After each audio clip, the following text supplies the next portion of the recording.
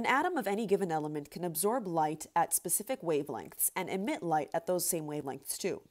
This concept can be seen here in comparing the absorption and emission spectra of hydrogen, where we can see the placement of the emission lines match the locations of the absorption bands.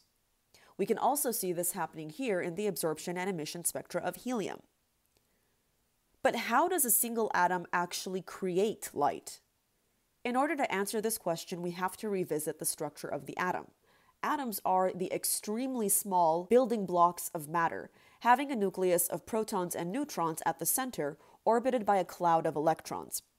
The electrons are negatively charged particles, protons are positively charged, and neutrons are, well, neutral.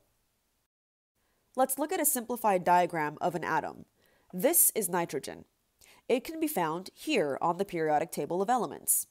If we look closely, we can see that the atomic number of nitrogen is 7, which means that it has 7 protons in its nucleus. In neutral hydrogen, there are also 7 neutrons in the nucleus as well. But what we really want to focus on are the electrons of the atom. These electrons are not all found in a perfect circle around the nucleus. Instead, they occupy different energy levels, meaning some are located on orbitals that are closer to the nucleus, while others are located further away.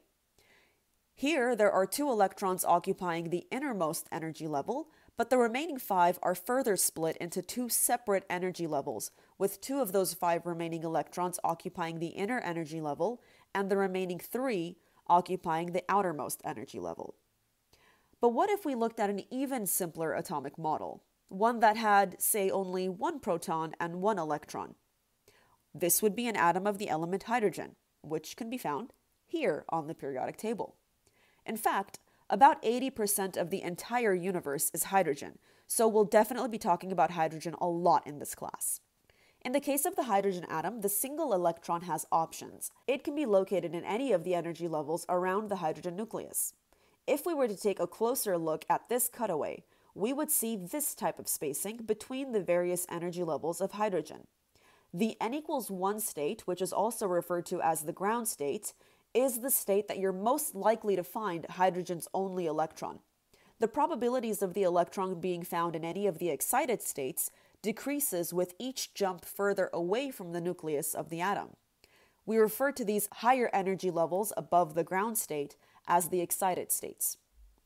But what happens when electrons move from shell to shell in an atom?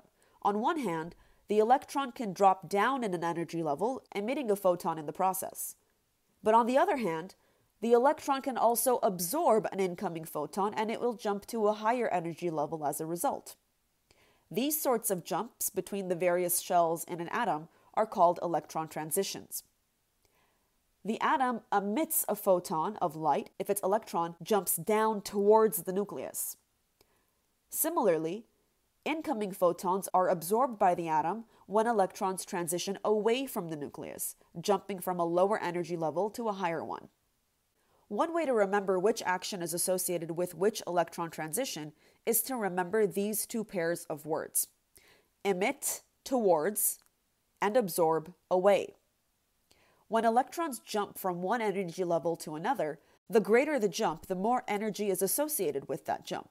The photon involved in that transition will also have a higher energy than a photon involved in a smaller transition. In fact, we can actually calculate the exact amount of energy of each of these photons that are either emitted or absorbed, since the energy values of each of these orbitals are actually known.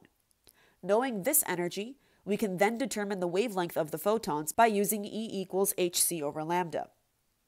So let's review. Which of these transitions, A or B, is associated with the absorption of a photon? Assume level 1 is the ground state. The answer is B, since we're looking for the arrow that is pointing away from the ground state, away from the nucleus. Now, which of these transitions labeled A through D has the photons of the shortest possible wavelength? Remember, the bigger the jump, the more energy is associated with that jump, and the more energy there is, the shorter the wavelength of that photon. So, our answer here is B. Now, what about the transition that has the photons of the longest wavelength instead?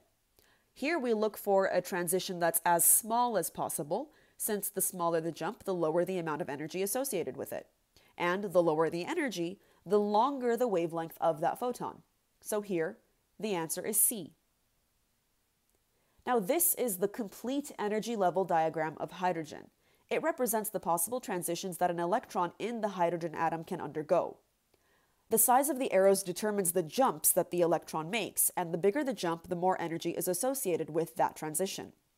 The direction of the arrows determines whether a photon will be emitted or absorbed in that transition. A free electron is one that has escaped from the atom, and it is said to have zero energy.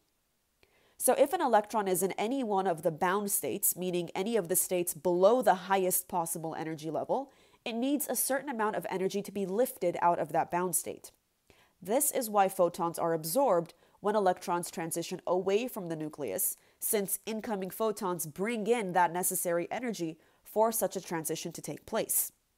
So, if we say that the free electron has zero energy, then a bound electron must absorb specific amounts of energy in order to be free. These amounts are determined by the spacing of the energy levels and can be seen both as positive energy values or negative energy values. The only reason why you may see them listed as negative values is as an implication that it must absorb that same amount of positive energy from an incoming photon so that it can escape the atom from that particular bound state.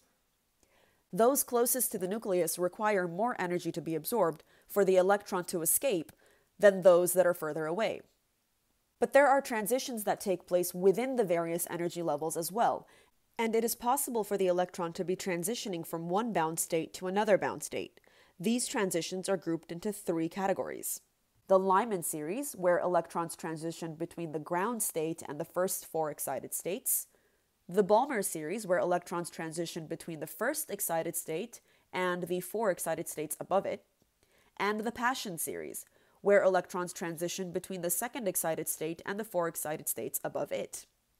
Photons emitted or absorbed in the Lyman transitions will have ultraviolet wavelengths, since these transitions are quite large, requiring a lot of energy.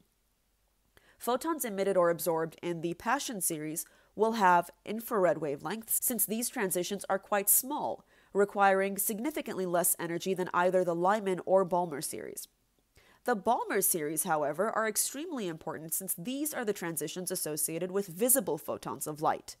So when we look at the familiar emission spectrum of hydrogen, it's actually the Balmer series that we're looking at. Now, each of these colors in the Balmer series is the result of a specific transition. The H alpha line is caused by the electron transitioning from the third energy level to the second energy level.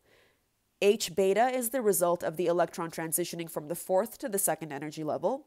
And H gamma and H delta are formed by the electron transitioning from even higher levels to the second energy level, which we also call the first excited state.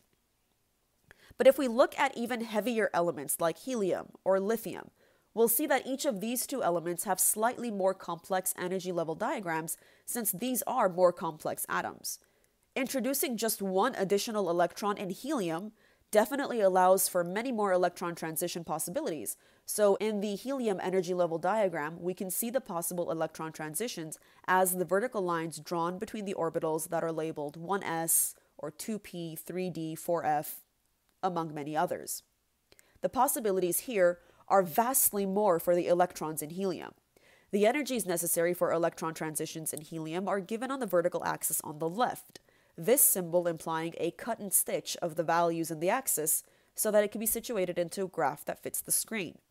For comparison, take a look at where the energies of hydrogen's energy levels fit on this scale to get a sense of the energies associated with helium's electron transitions.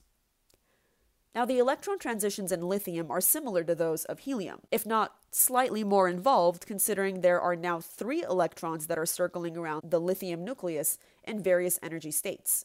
For comparison, we can again look at the energy levels of hydrogen and see that the n equals 1 or ground state of hydrogen is well below the bottom edge of this image. If we continue through the rest of the elements of the periodic table, we'll come to see that every element has differently spaced orbitals, so the photons that are emitted from these electron transitions of each element will be in a pattern that is unique to that element. So each element's emission line spectrum is more or less the fingerprint of that element, with no two elements having the same exact set of emission lines.